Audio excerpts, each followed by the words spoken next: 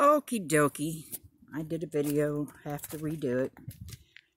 Something weird happened. anyway, um, I, I came out here about 10 minutes ago to start this video, but I was out here like less than five minutes before that, and there were four planes up there doing their deal. They're gone now. They were way over that way. Well, there's still one over there, but they were right up here. They're gone. So they're doing their little cover up. And it's dissipating quickly, but I'm sure they'll be out here all day. I've had a headache for at least two days because of all the crap they're doing. They've been heavy the last two or three days. Um, and then last night, I didn't get to sleep until probably between 2.30 and 3.30. Up every, woke every hour until my dog got me up at 7. So that also contributes to the headache. But I think I'm not quite sure what caused the insomnia last night. I have had lifelong problems with insomnia, insomnia, so I never know what's causing it. I don't drink a lot of caffeine. I don't drink caffeinated drinks. I'm not a coffee drinker. Every now and again I'll have some. So it's not caffeine. Um, I mainly drink fruit juice. I used to be a big tea drinker. That might have, I mean, probably going through a gallon of tea a day. So that probably helped years ago, but I had to give that up a few years ago because of an ulcer. It just seemed to tear my ulcer up. So I, for the most part, every now and again I'll have some, but not very often. Once I get through a gallon of it, it's already starting to eat my stomach up. Anyway, my main reason for putting out this video, I've been meaning to do it for a week, um, is to get prayers going up for Mike Morales. If y'all don't know him, he does a uh, weather forecast every Sunday. He does a 16-day forecast that usually is more accurate than any weathercaster I see. of course, I don't watch local weather. I just use my phone app on the AccuWeather. Um, but he his forecasts are pretty accurate. Um, also, uh, he's got AGWN channel, which is Above Ground World News, on top of Mike Morales, and that's spelled M-O-R-A-L-E-S, Mike Morales. He also does headline news of weird stuff, anomalies in weather and nature. But he's done a lot of research on this stuff. And he puts it out there. Not so much any pictures actually of it, but stories about it, lies that are being told. Um, he's got videos from, I don't know how long ago, maybe a year or so, that has a breakdown of the chemicals in this stuff. So, yeah, he's pretty knowledgeable in it. He was coming home from work last week. He, the job that he has requires that he travels quite a bit. He might drive 500 miles a day and home every night. He's not a truck driver. It's just the job that he has. Um, he said he was on his way home from work. I think it was Tuesday because I think the video that he put out was Wednesday. Anyway, he told how he got this horrible chest pain just out of the blue and he started coughing up blood. So he got himself to the nearest emergency room when he uh, realized that it was the hospital that misdiagnosed his granddaughter's cancer. She's been just finishing up her chemo for her cancer. She's only eight years old. Um, so he said he didn't really want to go in there, obviously. And he said he kind of bent over and it eased up the chest pain tremendously. So he was able to get back in the car and get himself home which he said, like I said, it was two or three hours away. But he made it home so that his wife could take him to their local emergency room. Um, I guess they did x rays or CT scan or whatever they did. Two thirds of his one lung, I believe it's his left lung, are covered in cancer. Part of his right lung is as well. It has not gotten around the heart yet. He was calling everybody that he could to get stuff started. And from the way I understand, whatever doctor he was going to be able to see first, it was going to be the first part of this week before he could even get in to see a doctor. Don't know if it was an oncologist. but he is going to try to get in with an experimental program, I believe is what he said.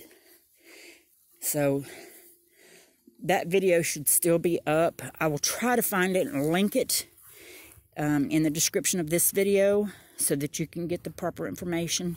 All I'm asking is for huge prayers for Mike and his family. Um, this reminds me of Nancy Morgan Hart on Headlines with a Voice, who's putting out a lot of controversial stuff. When she found out she one day had this pain in her back and they found cancer, just eat up with it. I think it was within two weeks she had passed. So it kind of makes you wonder what they're doing to folks that are putting this information out there. Um, that's all I'm going to say about that. So, yes, if we could just get every prayer warrior up for Mike. Um, he's a good dude and he's trying to do the right thing. So let's don't let this awful disease take him. I understand it completely. I've got 11 immediate family members that have passed from cancer. And all of them but two were from different kinds of cancer. Two of the females died from breast cancer. Everybody else had something different. From my dad to two or three of his brothers, his sister, cousins. Um, and that, I think, goes back to them all being in the military and what the military has to do when they go overseas, when they come back into the country because they were all children when my grandfather was career military. They went overseas to be with him in Japan. Then when the kids got older, the guys went into the military. All of them had to go overseas. My father was a pilot. So we know he was out of the, out of the country. That's all I'm going to say about that. But whatever didn't affect an aunt or an uncle has affected a child of that aunt or uncle. There's one plane way over there. Probably can't see it. But they're starting over in that area up now. And let's see if I can get up the hill without falling busting my butt. Anyway, a little update on my peas. It got really, really cold the other night. Uh, night before last, we had a wind chill of like seven. Um, the only thing I know to do with these is try to make me a tunnel. Uh, it's a little bit too late for them now. They somewhat seem to be okay. Some of them aren't doing all right, but maybe I'll get some peas at them. I'm thinking I'm going to make a tunnel for this box and cover it with something that will be easy for me to pull back and forth. Because it gets so cold at night here um, and then warm during the day most of the time like today it's probably going to be 56 57 so they need that warmth. They don't need to be covered the whole time. And i got to figure out something that i can pull over something that tall easily so I'm going to do some research on that. I think I can just get me some flexible pipe, small piping that I can screw into the sides of this box that I believe I can do myself. I don't have to depend on hubby to do everything. I know he likes that, but he's not home much. So, let's see if I can get something started. Anyway, so that's the update on the peas. And I'm going to cut this short. I've got two days planned to be pain-free. So I'm going to try to get as much as I can done around the house. Oh, there's number two. He's back. Number two is back. Yeah. Kind of light. Not sure if you can see. I can't tell in the sun. Oh, he's laying some nice, thick, long ones. Yep. Let's, zoom in on him. I can't tell because sun's my... There he is. Yeah, you can see him. Look at him. Uh-huh. Can't hear a thing. Can't hear a thing. Somebody flying that close should be heard. Nope, can't hear him. So that's one, two, and there was another one over there. So they're back and just doing their thing. Spraying this crap on me gives me headaches. Anyway, all right, everybody. I thank you so much for stopping by. Please remember Mike in your prayers. Um, I just had a thought. There's a big thing of plastic over there. I need some Visqueen. That's what I need for this, Visqueen. Um, please keep Mike in your prayers. Thank you so much for stopping by. I love all of y'all. Have a great, blessed day. Stay safe. Stay armed.